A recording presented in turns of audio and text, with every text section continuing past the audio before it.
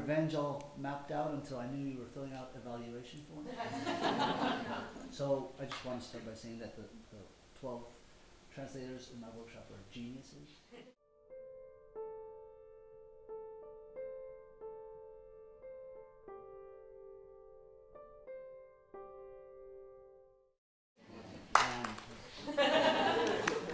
Um, uh, for, for me, this, this experience is, is uh, uh, bittersweet. Um, I've had text translated before, some without any questions at all, like the Portuguese. They just sent me the book and you know, it, was, it was done. Uh, some, like the French, will ask ask a little bit, but never like this. Never, never hands on, and never in a language which is uh, my stronger language, English. Um, and here I should perhaps just say a few words. Uh, although I write in Spanish, I grew up in the States, and English replaced my Spanish. It replaced is a, is a strong word. Um, although Spanish is my mother tongue, English is my stepmother tongue, so to say. Um, sometimes they get along, these two women. Um, sometimes they don't. Uh, but as I'm writing in Spanish, I'm thinking in English most of the time. So, the sentence starts off in English in my head. I simultaneously translate it onto the page in Spanish. So, what happened this week is that you 12 were translating back into English. I knew the, the sentence in English in my head that you were trying to get back to.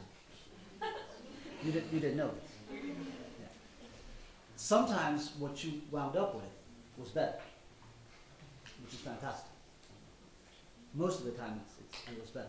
Um, but so the, the, the experience for me is, is very strange, you know, to, to try to get uh, to face that, that translation. Something which would not happen in any other language because I don't have any other language like I do in English and Spanish. Um, the texts that we translated then are uh, in many ways better. I don't know if that stems from the fact that I'm just bored of reading them in Spanish, and so uh, a new version is that much more exciting. Um, in several instances, I found myself wanting to edit the Spanish Yeah. just because what, what they had done was better uh, than what was on the printed page. I, I suppose it demanded a close reading that you probably haven't given Yes. those pieces. I don't know how recently you wrote them, but if you wrote them some time ago, you wouldn't have done that Yes, time. exactly. Yeah. Um, not frightening, Sarah. You used the word fright. Terrifying. Uh, Terrifying. something like that, yeah. Yeah, not, not terrifying at all. Um, you know, to let this piece be analyzed so much.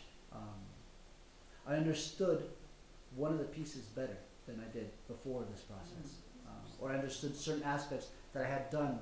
I don't know, subconsciously or, or you know, from where that came from, that I didn't know before. So, so that was very interesting.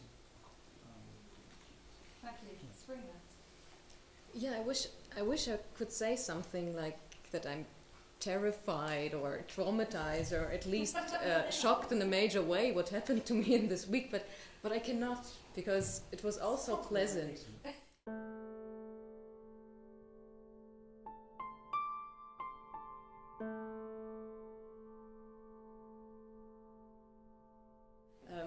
Sometimes I suffer a lot when I sit at home and I um, I write full time, so I'm um, often many days alone.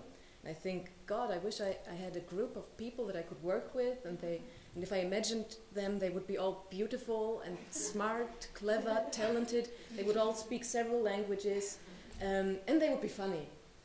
And so I had this experience this week, and and it was it was really very nice, just as Ed said, and actually they put their fingers on many spots where I thought, oh Jesus, why did I not see that before? And and more, why did my editor did not see that before? I'm gonna go back home and ask him a couple of questions. so, and what what was striking me was that um, when I wrote the novel, I was I had my story, my core, and I was putting on layers. First, like the structure line, the corpus of the story, and then sentences, words, And now we took all these layers off. We didn't consider so much the story of the whole book, but we looked at the sentences, then at the words, the commas, the semicolons. So it was like we stripped the text again, and just so it could stand up in English with a bigger distance for me, and I can walk it, walk in it like in a room, in a different poetic room, in a different sphere. I see the story again, and not so much my work, which uh, which I know very well, where I struggled, where I had to write it again, or a spot that I didn't really like, and now in English it's it's someone else's work really that uh, for me also is enjoyable. Although I have been reading it so many times.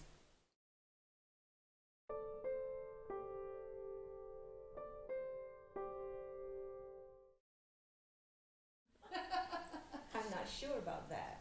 Uh, I just feel like uh, it's a wonderful thing if the translator wants the author to be involved to a certain extent.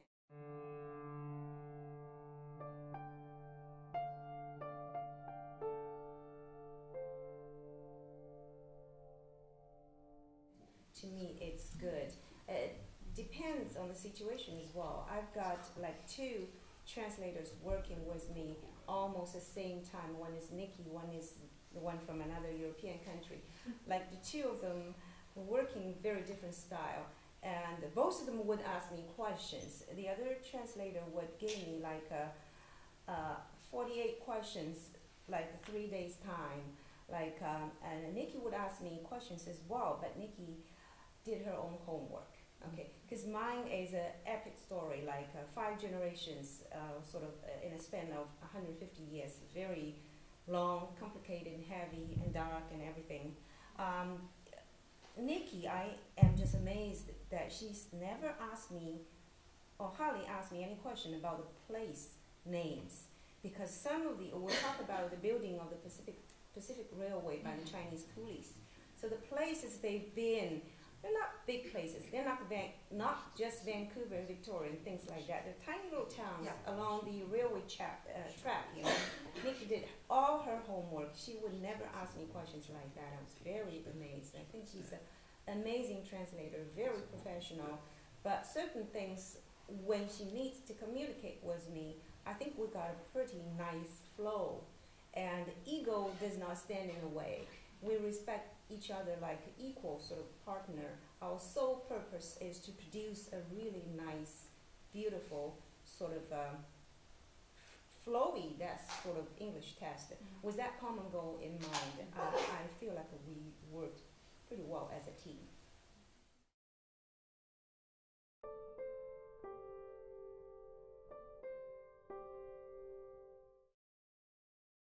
Yes, indeed. Actually, I this is the this is the first time I work this close with a translator. The the, the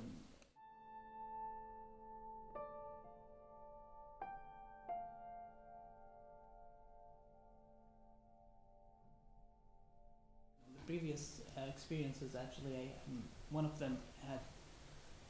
Oh, I was in Canada and the translator was in Abu Dhabi and the editor was in London. So we all com- communicated in the email and, and it was like you know with a minimum you know um, questions and answers that goes you know along with the with the with the text.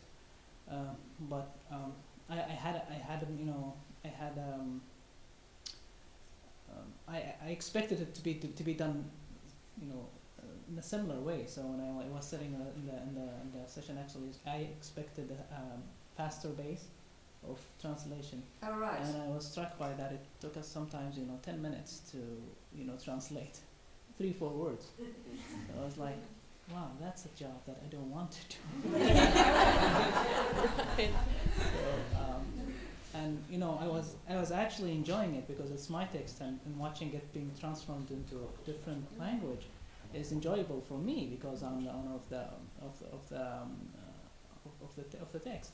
But for the translator, is not, does may not necessarily have this attachment with the with the with the text. I feel I sometimes I feel bad for them. You know, it's like you, know, 'cause you don't do you don't need to have to do that. You know. and sometimes when I come to the session, you know, like five minutes late or ten minutes late, and they you know they come in the morning with the, with the coffee and they start working on my text, and I feel I feel bad. Yeah. 皆さんのその熱心さに触れてもう今私が日本で活動しているそのなんていうのかな その 文芸業界の誰よりも日本文学を好きなんじゃないかなって思えるぐらい。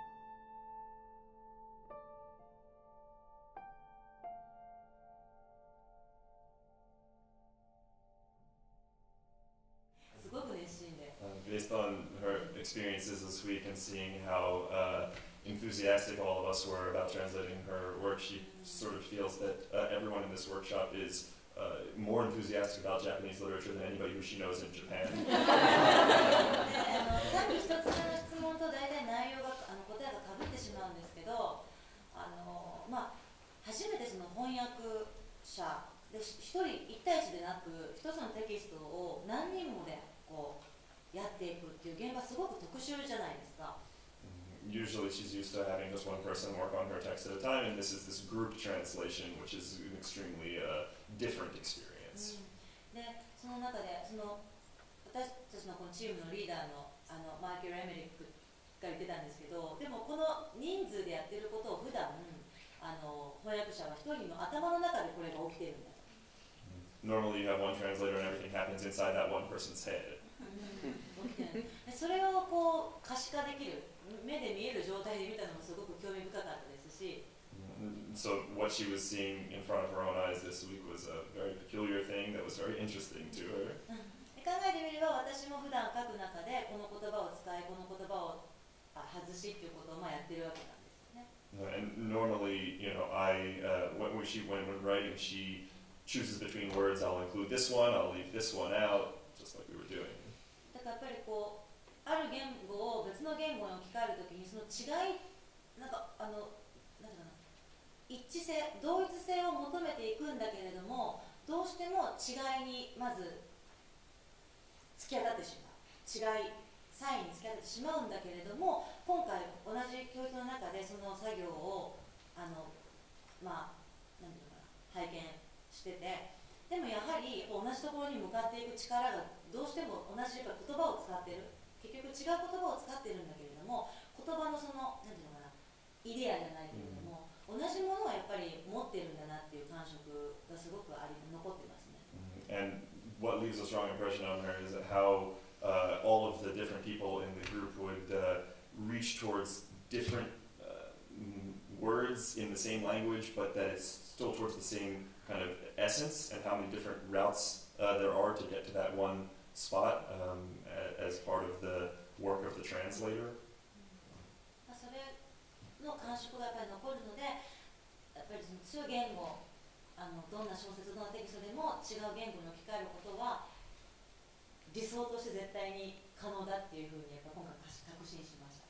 And uh, so, based on this experience, she uh, s- it strengthened her resolve that uh, no matter what sort of text you have and what language you're talking about, there's the possibility to uh, render it across that, that divide.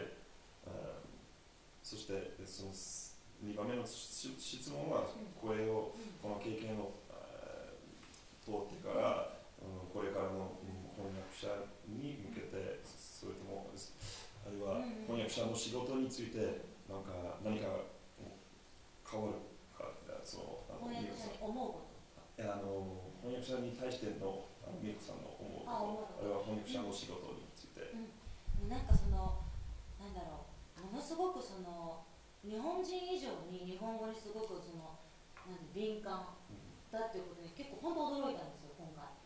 うわこん。なになん。だと思ってそれ本当に驚いたのでもうなん。かあこれはちょっと日本語独特すぎてちょっとなん。か翻訳の時になん。かちょっとつまつまずきっていうかそのあれなのかなと思ったけどそん。な遠慮が全くいらないってことが分かりました Uh, 好 so きなように書いていいん。だってことが分かりました she uh, realized that uh, translators of Japanese who are not Japanese are extremely sensitive to all these nuances and really think about it a lot. Uh, and so, whereas before she might have just written whatever she wanted to, now she feels like she might proceed with a greater sensibility to uh, what's going to happen to the translators.